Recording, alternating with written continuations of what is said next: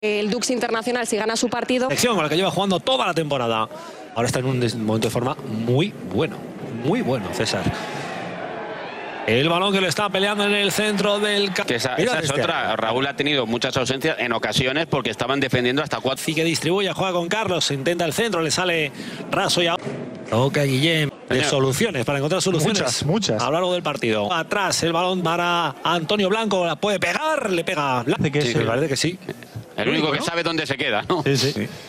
Balón que recupera Antonio Blanco para el Real Madrid Castilla. Ya lo mueve para. Bueno, bueno, bueno, no. Espérate. Espérate, que a, a los árbitros vamos a hablar al final. Hay un poco comprometido. Recupera el Castilla. Antonio Blanco. Blanco que tiene que esperar a ver si sube. Está Antonio Blanco. Blanco que va a patear. Lo hace volcando hacia la izquierda. El toquecito. Pablo, sí, sí, sí. Sí, sí. Y cuidado Control, ahora, cuidado. cuidado a Pichín, muy buen control, pero le está sacando fuera Antonio. Bien, Antonio. Le ha ha hecho muy sacado bien, muy ¿eh? bien, le ha sacado muy bien fuera Antonio y después Ha ido alejando hacia la banda. Sí, señor. Ha ido sacando del, del área de la zona de peligro y ahora intenta distribuir largo ese balón buscando a Peter Federico que es para Carlos. Carlos que se mete ahí entre pues un apoyo blanco que está muy presionado, pues ha resuelto en cortito. Simón, Simón arriba, se queda corto, se va al suelo para el Real Madrid Castilla, Sí. puesto que no nos. Ah, no, ahora no. Eh, la tasa, el árbitro se ha acabado las opciones hacia adelante, ya que es el tercero. Va a tocar de nuevo. La evolución de primera, que lástima se quedó. Pero Sigue, finalmente sigue. llega desde atrás Antonio. Ahí Pablo, Pablo Ramón. Antonio, juega Blanco. Blanco hace- Son ventajosas para los centrales. ¿ah? El balón.